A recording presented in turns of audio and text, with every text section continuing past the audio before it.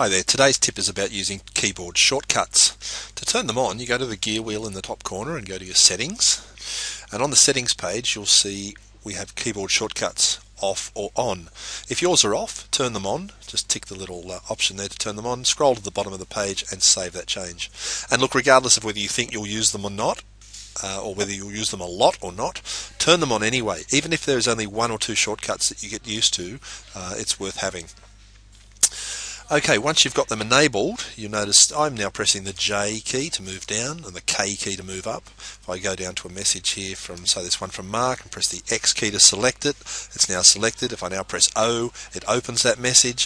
If I want to reply to it, I press R, and I'm in the middle of the reply. So I've just actually done a whole bunch of actions there without touching my mouse, which is pretty handy. Let me just discard that message. If I want to compose a new message, just press C to compose a new message. So I can actually drive a whole lot of stuff without really uh, touching my mouse very much at all. So if you're a keyboardy kind of person, not everybody is, but many people are, uh, you can drive a lot of your uh, Gmail stuff from just keyboard only. Uh, the other thing is once you've enabled it, because there are a lot of shortcuts, uh, if you press the question mark key, and you normally need the shift key with it, so shift question mark, it brings up this overlay and gives you a summary of all the different keyboard shortcuts you can actually use.